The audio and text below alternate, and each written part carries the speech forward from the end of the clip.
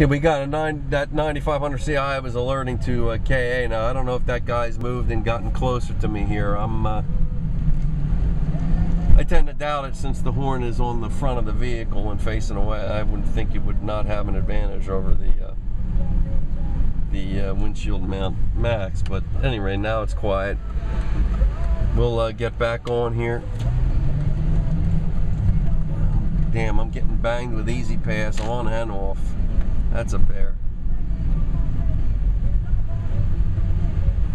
Oh well.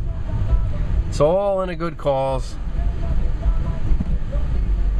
I got the max turned off and I got the uh, red line now close to where the max position is with the band segmentation 258 the radar rejection off and the uh, TSR on I like that configuration it quiets the detector up and I don't take much of a haircut I don't think on uh, K for that.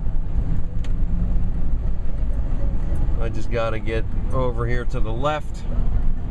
This truck here is in the left. That's a bear. I think that uh, Camaro will pick it up. Yep. Get out here, hang out in the left. Don't even think about it.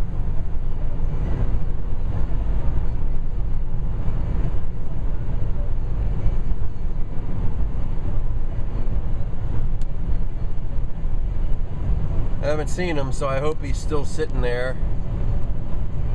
Traffic's pretty much all moving at the same pace, so uh, maybe a little bit more challenging for him to uh, pick somebody off.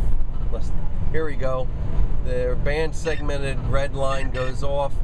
STIR, then the STIR plus non-seg. 9500 CI now goes off.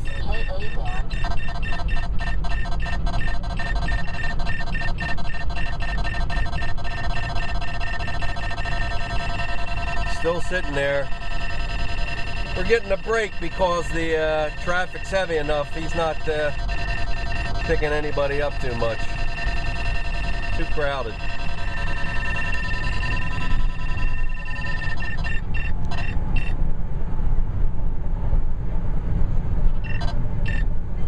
Yeah, the red line released it.